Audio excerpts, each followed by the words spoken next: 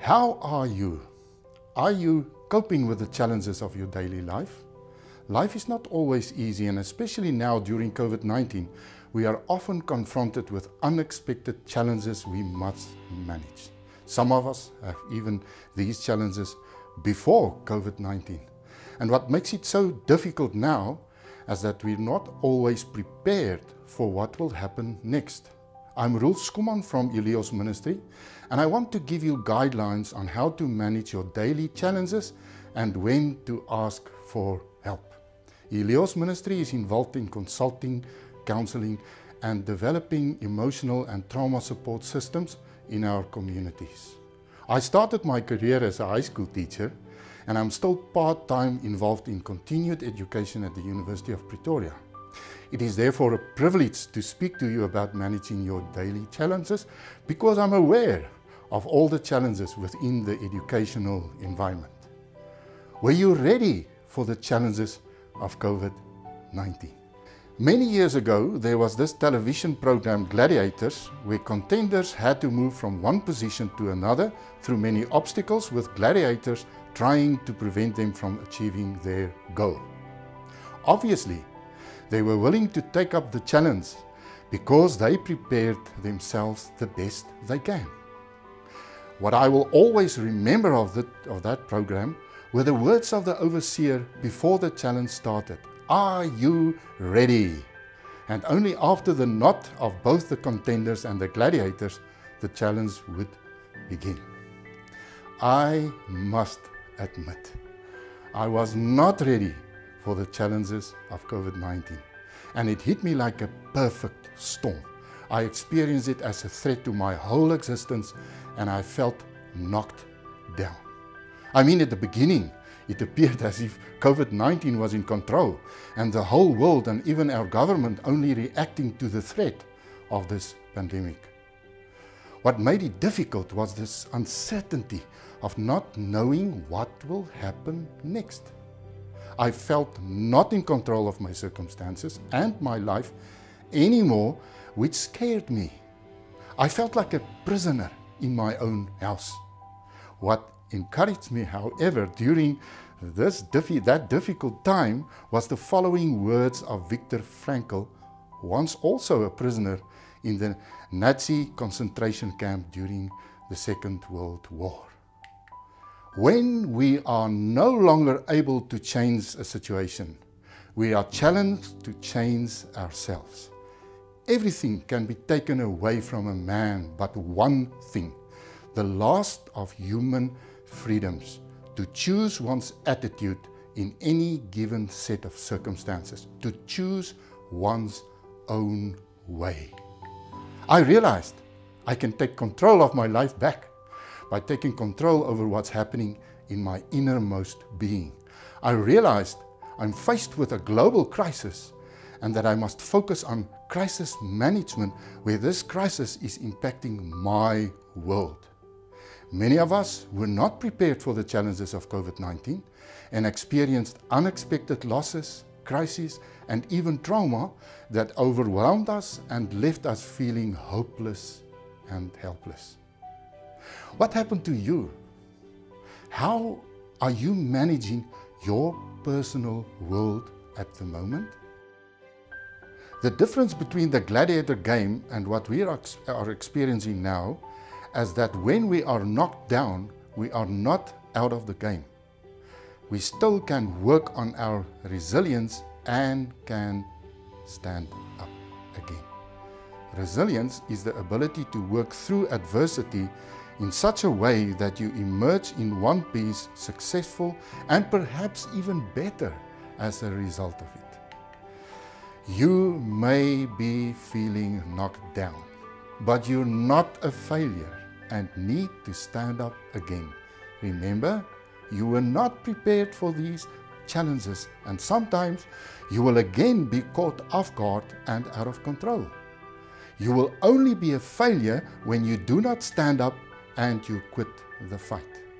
Many of the challenges we are faced with will only be sorted out over time. The fight is still on. Therefore, you need to focus on maintaining your inner strength and resilience until the fight is over. You will be challenged with crises and need to improve your crisis management skills. As Martha Beck said, any deep crisis is an opportunity to make your life extraordinary in some way. Research has proved over and over again that the best way to prepare yourself for crisis and trauma is to have an effective support system. In these challenging times, it is of the utmost importance to develop your own effective support system of family, loved ones, and experts to support you whenever necessary. Remember, it's your support system. And if it's not effective at the moment, you must improve it. A disaster such as COVID 19 has an impact on the spiritual, emotional, intellectual, social, and physical areas of your life. These areas are acting as energizers during crises and challenges, but they can only support you when they're maintained regularly. Therefore, you need to understand your own energizers and how they are functioning to support you. You also need to invest in those who you neglected. They may be of support to you without you even realizing it. Sometimes you're feeling strong in some of these areas, but weak in another. For instance, you can be spiritually strong because of your faith in God, but emotionally feeling out of control. The impact of some of the challenges of COVID 19 may also cause a disruption in some of these areas. If, for instance, you are experiencing emotional reactions such as fear, anxiety, and anger that you're not used to, it is a warning sign that you need to investigate what is happening in that area. Your emotions are not your enemies, but supporting you in facing your challenges. Therefore, you need to understand how they function. If your emotions are getting out of control and not supporting you, you need to consult an expert such as a psychologist to get them under control again. If you're experiencing strains, physical symptoms such as chest pains or sleeplessness, you need to consult a medical doctor for help. And even also, if you have questions about God and where He's fitting into all this suffering that's taking place, you need to speak to your spiritual leader.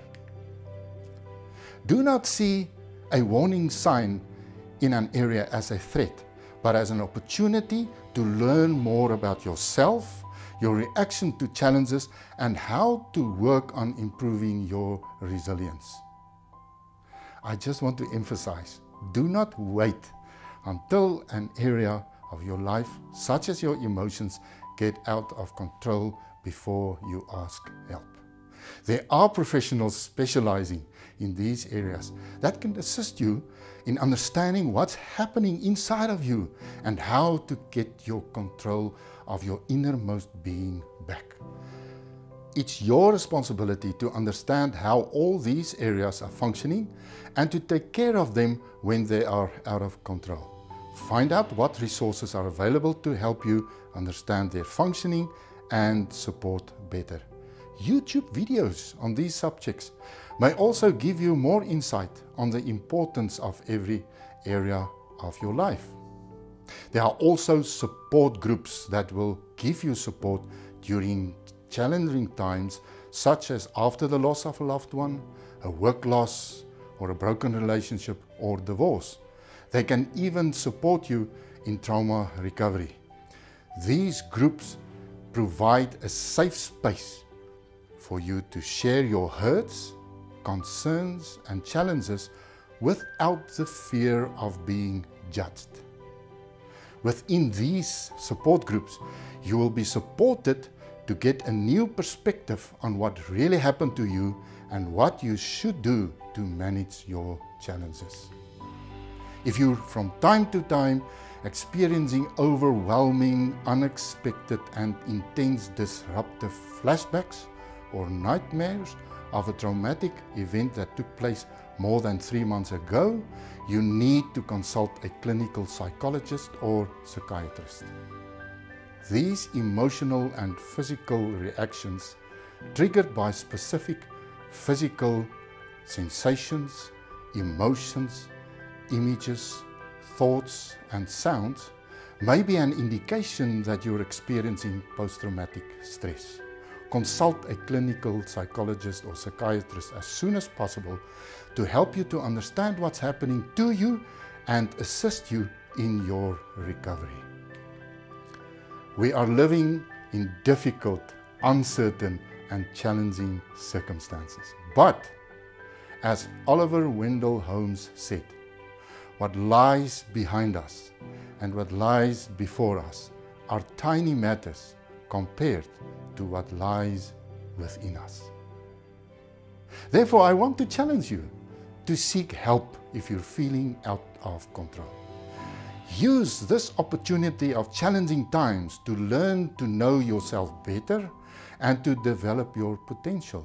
Use the resources available to manage your crises and challenges. I want to leave you with these words of Rudolf Dreikurs. We can change our whole life and the attitudes of people around us by simply changing ourselves. Goodbye.